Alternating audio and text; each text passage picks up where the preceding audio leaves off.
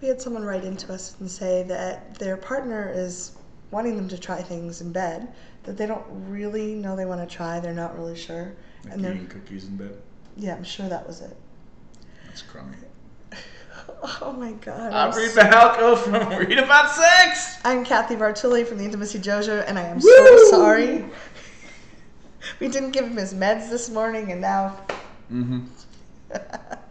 uh, we'll give you more coffee and Bailey soon. Awesome. um, you can feel pressure when your partner wants, and, and it's really important to be able to talk to each other about things you'd like to try. And it's also really important for people just to be able to say, no, I don't want to try that, or I'm okay with not trying that for a while, or let's talk again later. And when someone start, they can feel pressure if someone's like, how about now? How about now? You want to try it? Come on, it'll be good. Try it. No. no, thank you. So, what would you recommend? Um, well, the first things, if you're gonna, a couple of things that people don't often don't understand about relationships. You're allowed to talk about stuff and never have to do it. Yeah.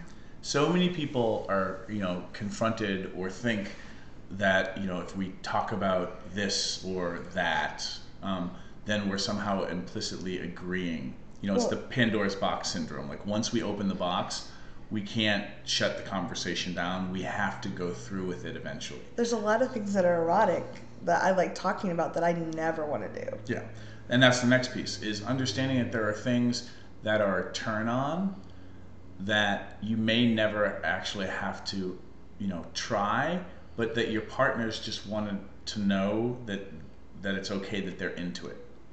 Um, and so when you take those two things and combine them, there's a lot more space in your relationship to talk about and consider things and leave your partners feeling loved for for who they are.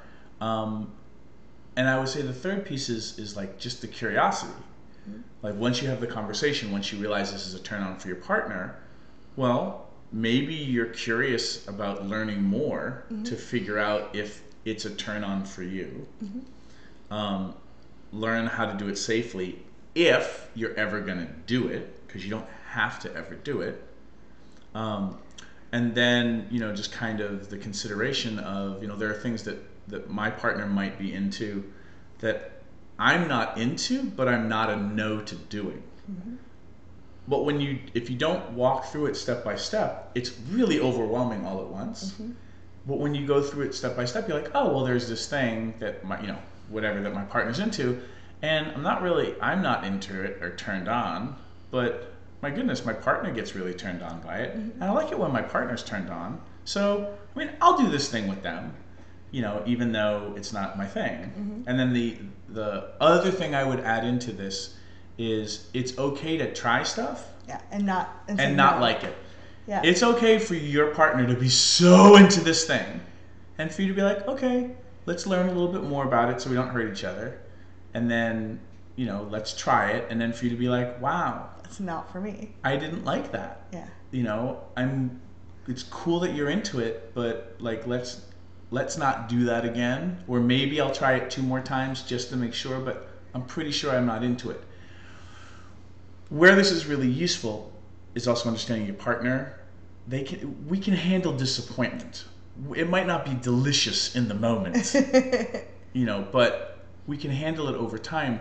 What really your partner wants is to be loved for who they are. So you can be like, honey, you know, I love that we tried this thing. yeah, I'm sorry it's not my thing. Um, however, when we do this other thing that we both like, why don't you tell me about this the, the, the thing that we just tried and like we'll, we'll make a fantasy around it yeah, some people don't need to to partake in the actual experience so much if they can experience it. if they can mind. experience it in their head and share it with you. And then the other possibility too, you know, for those of you who are in open relationships or non-monogamous situations, your partner can go and have that experience with somebody who is into it, who does want it, um, and then you know they come back to you all excited that they got to do their thing. Yeah, Um, for some of you, that's called golf. it's definitely called golf for me. Yeah. Honey, I don't like golf. I go do your golf thing and Mm-hmm. then come back. Yeah. Um, just because, and you also can say no. I don't ever want to talk. You know, I've tried that, or we talked about that. I don't want to try it. I don't want to talk about it. Like you, you're allowed to have boundaries about certain ex. Absolutely, but and and I would say get clear about as to why you're a no. Mm-hmm. Not that it not to create pressure, but is it a no because it's not erotic or turn on to you? Mm-hmm.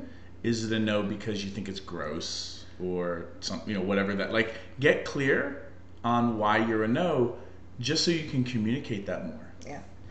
And one thing you can do to take off the pressure, a lot of people, especially um, in my experience, a lot of women I've worked with, there's a, a feeling like if I can't meet all of his needs and we don't have a perfect Venn diagram of our desires, it's not true love. We're not soulmates. And human beings, there's no one person that can meet all of our needs. There's no one person that's going to be exactly perfect for um, every sexual desire and fantasy and act. So it's okay to have things that are a no for both of you. And there's okay to have things that you kind of like and you're willing to do because it pleases your partner.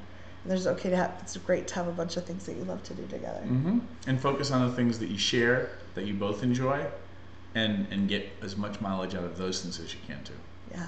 Hope Leave your comments below. Bye.